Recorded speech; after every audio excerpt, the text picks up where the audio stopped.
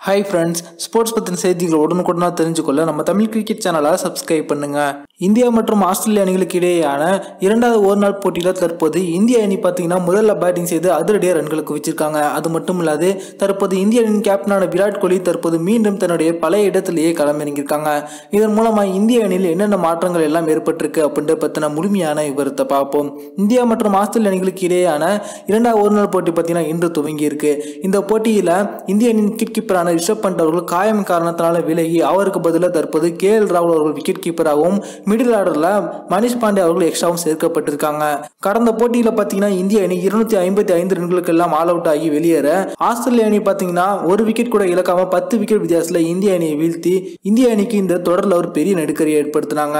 அதிலும் முதல் போட்டியில் இந்திய அணியின் கேப்டனான விராட் கோலி அவர்கள் நான்காம் கால வீரராக களமிறங்கினது அனைவராலையுமே விமர்சிக்கப்பட்டது. இதனைத் தொடர்ந்து தற்போது இரண்டாவது போட்டியில் பார்த்தீங்கன்னா விராட் கோலி மீண்டும் தன்னுடைய எப்போதும் களமிறங்குகிற மூன்றாவது காலத்திலே களமிறங்கினாங்க துவக்க வீரர்களாக களமிறங்கின ரோஹித் சர்மா நாற்பத்தி இரண்டு ரன்களும் சிகர் தவான் தொண்ணூற்றி ஆறு ரன்களும் கேப்டன் விராட் கோலி எழுபத்தி எட்டு ரன்களும் அடிக்க அதன் பிறகு வந்த ஸ்ரேயஸ் ஐயர் ஏழு ரன்கள் வெளியேற அதிரடியாக விளையாடிய கே எல் ராகுல் ஐம்பத்தி இரண்டு பந்துகள் எண்பது ரன்களை குவிக்க இந்திய அணி ஐம்பது ஓவர் முடிவுக்கு ஆறு விக்கெட் இழப்பிற்கு முன்னூற்றி நாற்பது ரன்களை குவிச்சாங்க. இந்த போட்டியில் விராட் கோலி அவர்கள் தன்னுடைய மூணாவது இடத்தில் களமிறங்கியதன் மூலமாக இயல்பான ஆட்டத்தை வெளிப்படுத்தினது தற்போது இந்திய அணிக்கு கூடுதல் பலமாக இருந்துச்சு. அதே போல் கே எல் ராகுல் பார்த்தீங்கன்னா இந்த போட்டியில் ஐந்தாவது இடத்துல களமிறக்கப்பட்டாங்க. இவங்க இதுவரைக்கும் இந்திய அணிக்காக துவக்க வீரராக களமிறங்கியிருக்காங்க. மூன்றாம் கலை வீரராக களமிறங்கியிருக்காங்க. உலகக்கோப்பையில் நான்காம் கலை வீரராக களமிறங்கியிருக்காங்க. இந்த போட்டியில் ஐந்தாம் கலை வீரராக களமிறங்கப்பட்டாங்க. இவங்க அனைத்து விதமான பேட்டிங் ஆர்டர்லையுமே களமிறங்கி தற்போது அதிரடியை விளையாடி ரன்களை சேர்த்திருப்பது இந்திய அணிக்கு ஒரு கூடுதல் பலமாகவே இருக்கு.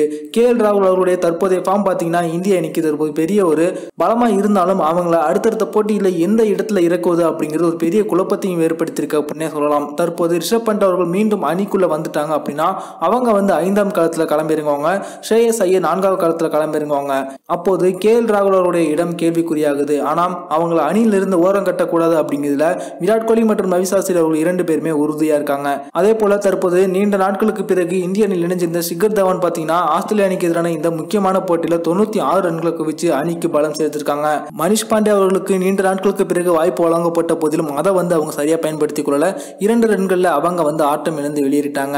அதே போல ஹார்திக் பாண்டியா தோனி போன்ற பின்சர்ஸ் அணியில இல்லாத சமயத்தில் தற்போது இந்திய அணியில் எந்த மாதிரியான பேட்டிங் ஆர்டரை சூஸ் செய்வது அப்படிங்கிற ஒரு பெரிய குழப்பத்தை ஏற்படுத்தியிருக்கு. இருந்தாலும் இந்திய அணியின் கேப்டனான விராட் கோலி தற்போது மூன்றாம் கடத்துல களமிறங்கி அதன் பிறகு கே எல் ராகுல் நான்காம் களத்தில் இறக்குவதா அல்லது ஐந்தாம் களத்தில் இறக்குவதா அல்லது தோனி பாண்டியா போல பினிஷர் ரோலில் அவங்கள பயன்படுத்துவதா அப்படிங்கிறது பெரிய குழப்பத்தை ஏற்படுத்தியிருக்கு.